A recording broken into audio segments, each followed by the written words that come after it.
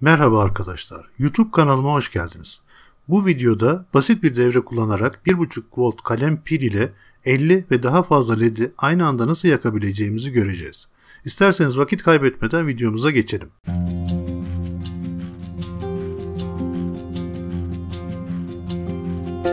Projemiz için gerekli olan parçalar kullanmadığımız veya bozuk olan enerji tasarruf lambalarında mevcuttur. Bunun haricinde 1 metre kadar bakır kablo, kullanacağınız kadar led ve 1 adet 1.5 voltluk pil. Lambanın içerisinden çıkarttığımız devrenin transistörünü ve yuvarlak ferit nüvesini kullanacağız. Lamba zehirli gaz içerdiğinden devre kartını çıkartırken çok dikkatli olun ve cam kısmının kırılmamasına özen gösterin. Havya ile transistör ve ferit nüveyi devre kartından ayırın.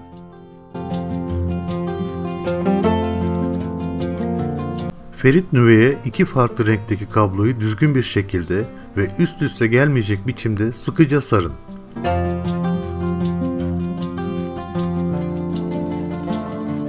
Kolaylık olsun diye farklı renklerde kullandığımız kablolardan beyaz olanın bir ucunu A1, sonunu A2 ile, yeşil olanını ise bir ucunu B1, sonunu B2 ile etiketliyoruz.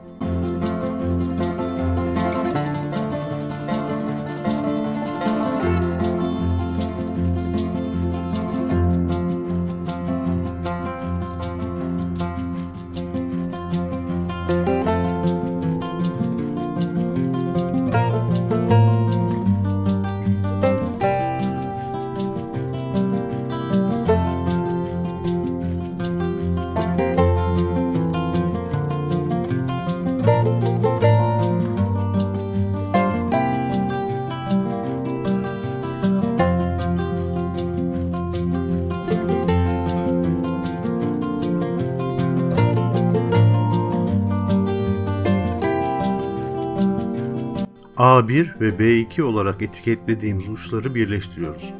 Bu birleştirdiğimiz uçlar pil girişinin artı kutbuna bağlanacak.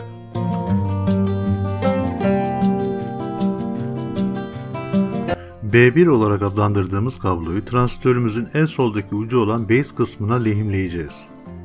A2 olarak adlandırdığımız kabloyu transistörün ortasındaki bacağına yani kolektöre, oradan uzatacağımız kabloyu ise ledlerimizin pozitif ucuna bağlayacağız. Pilin eksi kutbuna bağladığımız kablonun bir ucunu transistörün sağ bacağına yani emitere ve ledlerimizin eksi bacağına bağlayacağız. Sıra ledlerin bağlanmasına geldi. Benim gibi kaç led bağlamak istediğinize henüz karar vermediyseniz bu tür deneysel projeler yapmak için üretilmiş olan Breadboard adlı parçayı kullanabilirsiniz. Devre 1.5 voltluk kullanılmış bir kumanda pili ile beslenmesine rağmen 60'a yakın led sorunsuz bir şekilde yanmaktadır.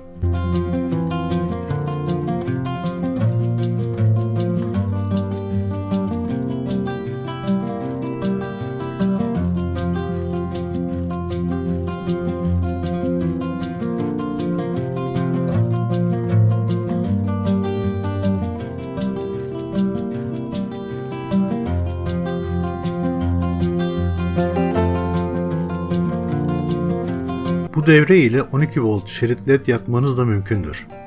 Kanalımı izlediğiniz için teşekkür ederim. Videoyu beğendiyseniz birkaç saniyenizi ayırıp beğendim tuşuna basmanızdan ve kanalıma abone olmanızdan mutluluk duyarım. Teşekkür ederim.